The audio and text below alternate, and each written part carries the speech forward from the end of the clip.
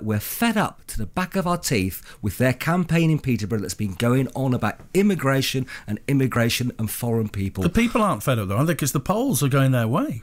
The polls are showing that people who are very poorly educated are likely to vote leave.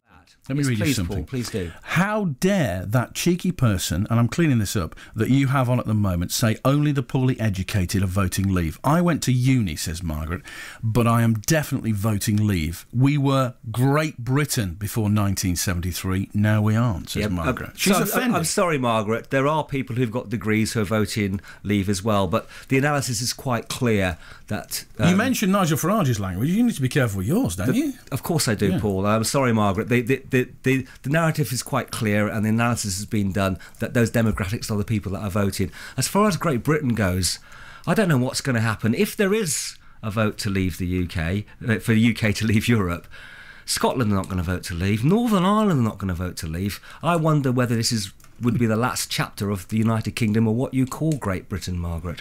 Well, we'll see. Um, and Keith from Peterborough says, I take exception to the fact that poorly educated people will vote out. I'm not poorly educated, I'm voting out. Frank from Upboss says, poorly educated, thank you very much. I'm not poorly educated, and I've already voted out. The So- poorly educated obviously listen to Heart in the morning, Paul, not BBC Cambridgeshire. Well, does it help when you're throwing insults around? Both sides. It's not an and, and- and the- insult. the, th- the thing is, th- th- this is what people are getting fed up with in politics, I think, and, and, and particularly during this campaign.